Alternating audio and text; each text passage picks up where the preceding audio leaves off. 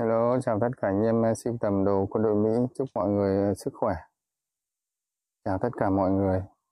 Xin giới thiệu với anh em ờ, chiếc áo khoác M65 Pelican của quân đội Mỹ sản xuất là năm 1967. Áo series medium Zigora, hàng ờ, xài lướt.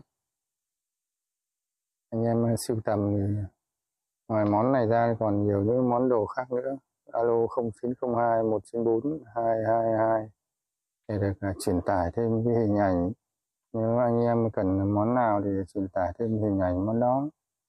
Mình à, nghiên cứu à, rồi trao đổi thêm. Và những thập niên 60 thì nhà sản xuất đứng hàng đầu thế giới. Đáp ứng cho quân đội Mỹ những sản phẩm rất là tuyệt vời.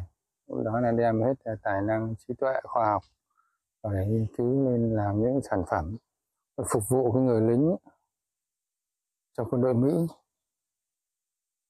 Nước Mỹ thì đứng hàng đầu thế giới.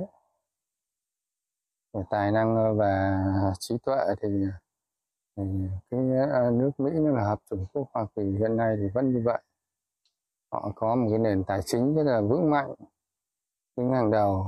Ờ, trí tuệ cũng đứng hàng đầu nên họ làm những sản phẩm gì cũng đều là nghiên cứu rất là kỹ rất là tuyệt vời. Nên vậy là thương hiệu để dành cho những sản phẩm của Mỹ thì đứng hàng đầu thế giới mọi người yên tâm về thương hiệu và chất lượng.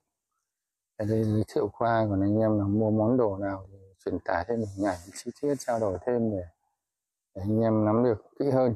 Chào mọi người.